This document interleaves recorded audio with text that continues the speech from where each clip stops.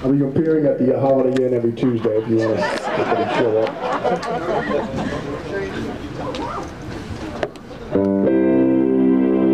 Some more volume over there,